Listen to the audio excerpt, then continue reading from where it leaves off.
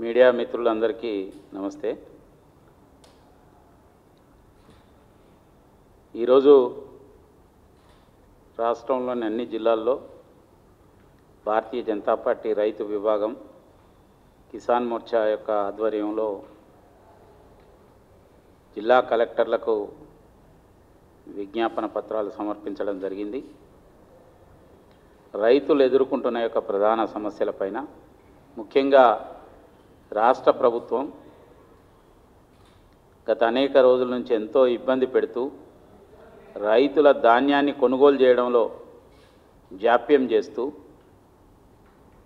వర్షాలకు తడిచిపోయి మొలకలు వచ్చి ఆ యొక్క కొన్న ధాన్యం సైతం మిల్లులకు తరలించకపోవడం వలన తరలించిన వాటిలో తరుగు తీసేయడం డబ్బులు ఇంతవరకు అకౌంట్లో పడకపోవడం ఈ సమస్యలన్నిటిపైన వెంటనే ప్రభుత్వం వాళ్ళ అకౌంట్లో డబ్బులు వేయాలని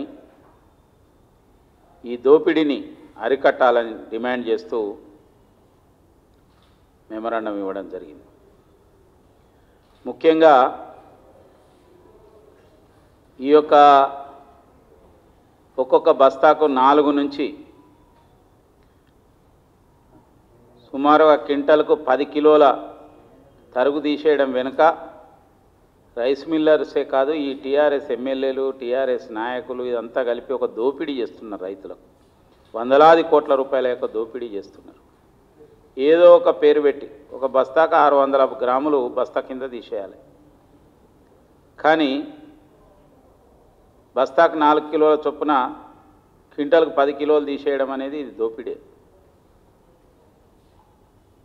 ఇటీవల అనేక ఐకేపీ సెంటర్స్ కానీ సొసైటీ కొనుగోలు చేస్తున్నాయి కానీ మార్కెట్ యార్డ్స్ కానీ సందర్శించినప్పుడు ఈ విషయం రైతులు తమ గోడు వెలుగేసుకోవడం జరిగింది. వెంటనే ఈ యొక్క కొనుగోలు చేసిన యొక్క ధాన్యానికి అన్నిటికీ వాళ్ళ అకౌంట్లో డబ్బులు వేయాలని చెప్పి డిమాండ్ చేస్తున్నారు. నకిలీ విత్తనాల గురించి వాటి అరికట్టడం గురించి గొప్పలు చెప్పుకుంటున్నాం. మరి ఏడు సంవత్సరాల నుంచి ఎన్ని వేల కోట్ల రూపాయలు రైతులు నష్టపోయిన్లు? ఇవాళ మేము వందల కోట్ల రూపాయలు సీజ్ చేసినాం. వందల కోట్ల విలువైన యొక్క నకిలీ విత్తనాలు సీజ్ చేసినాం. మేము అరికడుతున్నాం అంటే ఇన్ని రోజుల నుంచి మరి ఏమైందని నేను అడుగుతున్నా. ఇప్పటికీ ఇంకా అనేక చోట్ల ఇటువంటి పరిస్థితి ఉంది. ఎంతమంది మీద పీడీ యాక్ట్ పెట్టిందని చెప్పి వాళ్ళు అడుగుతున్నారు ముఖ్యమంత్రి గారు రెండు సంవత్సరాల క్రితం ఎన్నికలు వచ్చినప్పుడు ఎన్నికల్లో గట్టు దాటడం కోసం ఆయన ఒడ్డు దాటినాక తెప్ప తగిలేసే రకం ఈ ముఖ్యమంత్రి. మేము అధికారంకి వస్తే లక్ష రూపాయల వరకు రుణమాఫీ చేస్తామన్నారు రెండేళ్ళు అయిపోయింది. ఇంతవరకు ఎంతమంది రైతులకు రుణమాఫీ చేసినామని అడుగుతున్నాం. మీ రుణమాఫీ చేయకపోవడం వలన రైతుల రుణాలకు వడ్డీలు ఎక్కువైపోయి మీరిచ్చే యొక్క రైతు బంధునన్నింటినీ కూడా వడ్డీల కింద జమ కట్టుకుంటున్నారు.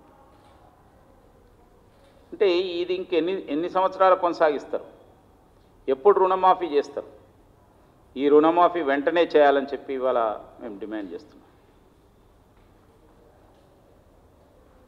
ఫసల్ బీమా యోజన కేంద్ర ప్రభుత్వం తీసుకొచ్చిన యొక్క ఈ బీమా యోజనను తెలంగాణలో నీరుగార్చింది ఇవాళ ఎంతో కష్టపడి రైతులు నకిలీ విత్తనాలను దాటుకొని నకిలీ ఎరువులను దాటుకొని వాతావరణ పరిస్థితులను దాటుకొని ఎంతో కష్టపడి వాళ్ళు పంటను పండించి మార్కెట్కి తీసుకొచ్చినాక అధిక అకాల వర్షాల కారణంగా కావచ్చు లేకపోతే ఇతరత్ర కారణాలను కావచ్చు అక్కడ నష్టపోతున్నారంటే ఆ నష్టపోయిన దానికి ఫసల్ బీమా యోజన కింద డబ్బులు వచ్చేది.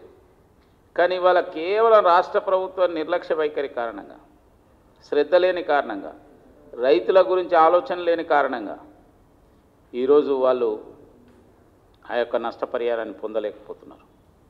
కాబట్టి లేదంటే మీరు రాష్ట్ర ప్రభుత్వం అయినా రైతులకు ఉపయోగపడే యొక్క బీమా యోజన తీసుకురావాలి. నేను బీమా చేస్తున్న రైతుల కంటే వ్యక్తి చనిపోతే రైతు చనిపోతే డబ్బులు ఇచ్చుడు కాదు. రైతు పంట బతికుంటే ఉపయోగం జరగాలి రైతుకు. రైతు పంట నష్టపోతే ఆ పంటకు పరిహారం ఏందని మేము అడుగుతున్నాం. దాన్ని అయితే కేంద్ర ప్రభుత్వం అమలు పరుస్తున్న యొక్క ఫసల్ బీమా యోజనని అమలుపరచు.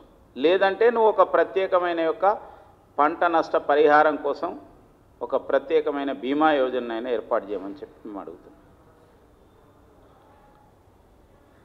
ఈ విధంగా ఈ యొక్క సమస్యల పైన అదేవిధంగా ఎరువుల విషయంలో ఉచిత ఎరువులు ఇస్తామని చెప్పి ముఖ్యమంత్రి గారు చెప్పింది. ఎంతో తీయటి మాటలు ఎంతో అద్భుతమైన మాటలు మైమరిచించే యొక్క భాషతోని అరచేతుల స్వర్గం చూపెట్టడం ముఖ్యమంత్రికి అలవాటు.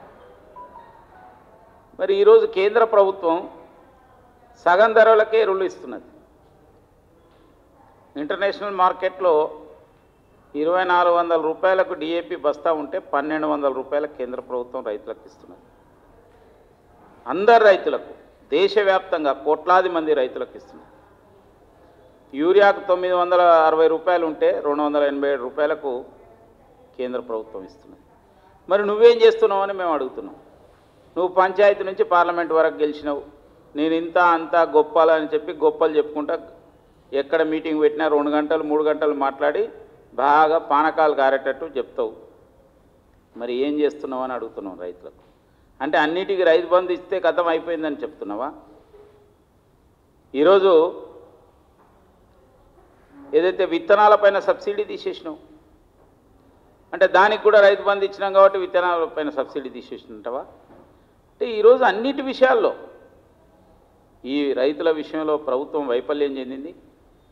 దీని నుంచి ఈ ప్రభుత్వం పైన వస్తున్న యొక్క వ్యతిరేకతను దృష్టి మలర్చడం కోసం. దినదినం అవినీతి కారణంగా మీ అనాలోచిత చర్యల కారణంగా చెప్పింది చేయకపోవడం కారణంగా ప్రజలకు డబ్బులు బెడ్రూమ్లు ఇస్తాను ఇవ్వలేదు ఒక్క ఎర్రవేలిలో కట్టించి నిమాష్ చూపెట్టిండు. కొద్ది రోజుల తర్వాత మన ఎగ్జిబిషన్ గ్రౌండ్స్లో నుమాయిష్ ప్రారంభమవుతుంది. కానీ ముఖ్యమంత్రి రోజో నుమాయిష్ చూపెడుతుంటాడు. ఇవాళ వాసాల మరిలో చూపెట్టిండు నుమాయిష్ నిన్న వరంగల్లో చూపెట్టిండు మొన్న సిద్దిపేటలో చూపెట్టిండు. నుమాయిష్ చూడు ఎట్లా విలేజ్ అంటే గ్రామం అంటే ఎట్లా మనమందరం ఇది కలిసి భోజనం చేయాలి. ఒక్కరోజే కథ అది. ఎర్రవెల్లిలో ఇల్లు కట్టిండు అందరికి ఇటువంటి ఇండ్లు వస్తాయన్నాడు ప్రజలందరూ నమ్మి మొత్తం ఓట్లేసిండు. ఇవాళ ఎంతమంది పేదలకు ఇండ్లు వచ్చినాయని అడుగుతున్నాడు ఎంతమంది పేదలు ఇండ్లు లేని వాళ్ళు ఉన్నారు ఈ రాష్ట్రంలో? అంటే కేవలం ఇటువంటి వాటిని చూపెట్టి పబ్బం గడుపుకునే ప్రయత్నం ఈ ప్రభుత్వం చేస్తున్నది. ఇవి నెరవేరుతలేవు కాబట్టి ఇవాళ రెండు రాష్ట్రాల మధ్యన ఒక ఉద్రిక్త వాతావరణాన్ని రెచ్చగొట్టి సెంటిమెంట్ రెచ్చగొట్టి మళ్ళీ పబ్బం గడుపుకోవాలనే ఆలోచన చేస్తున్నారు. కానీ ఇటువంటి పన్నాగాలు తెలంగాణ ప్రజలు అన్నీ గమనించిళ్ళు మీ ఎత్తులు ప పై ఎత్తులు జిత్తులు ఈ నక్కల మారి మాటలు అన్నీ కూడా ప్రజలకు అర్థమైనవి దీని పట్ల భారతీయ జనతా పార్టీ ప్రజల పక్షాన నిరంతరం పోరాటం చేస్తూ ఉంటుంది. మీరు ఈ సమస్యలను కనుక పరిష్కరించకపోతే త్వరలో రైతులతో చర్చించి మేము తగిన కార్యాచరణ కూడా రూపొందిస్తాం. అదేవిధంగా ఇప్పుడు ఏదైతే నువ్వు ఈ నుమాయిషులు చూపెడుతున్నావో ఈ నుమాయిషుల సంగతి కూడా నీ బండారం కూడా ప్రజల ముందు పెడతామని చెప్పి ఈ సందర్భంగా నేను తెలియజేస్తున్నాను.